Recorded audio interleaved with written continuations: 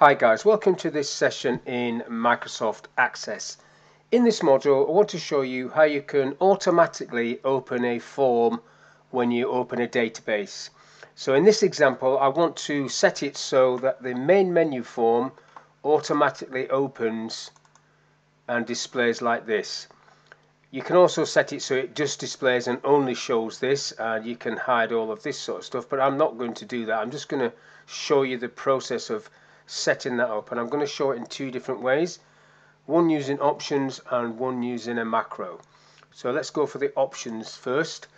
So if you go to file options in here on the current database tab you've got the option to display a form on open. So if I drop this list down it gives you all the forms that you have. These are all categorized. So main menu is the form I want that's what I want it to do. I want it to open that. And then you can take some of these ticks off if you don't want these things to display. Um, always careful when you do this like the navigation pane this you can hide that um, and then you can bypass it on open if you want. But you've got different options to tick on or off allow menus detect menus off. But I'm going to leave all those on just for ease.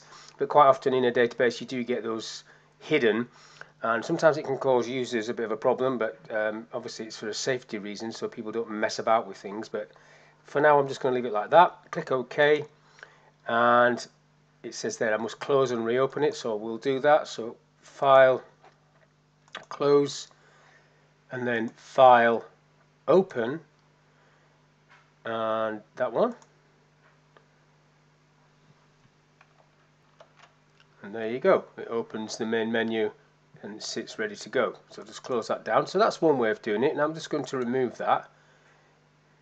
Options, current database, put that back to none and then OK. Now the other way I said was to create a macro to do it. So let's have a look at that one. So click on create macro and click in there open form is what I want. So the form name is going to be main menu again form. You've got filters there's no filters no data on that it's just a, a, form so that's all I really want. But the key to this one is how you save it or what you name it as. So if I click on save this one is going to be called auto exec like so.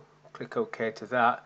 What that means that name that this macro will run on file open. So if I do the same thing again and close this close and then open it file that one. It opened it straight away and the macro ran and opened that form. So there's two different ways of doing it. You can actually get it to hide all of this if you want the ribbon and I've already said you can hide this navigation pane as well but also make sure that your forms have all the functionality that your users might need. Because hiding the ribbon and things like that is great. You might think you're being clever and safe but if the user can't use the full function functionality of access you're defeating the purpose of doing that. So you must be careful what you hide and what you don't hide. But that's all I want to talk about in this little video. Two ways of automatically opening a form one with options and one with a macro. So hopefully that quick video was of use to you. Thank you for your time and I'll see you on the next one.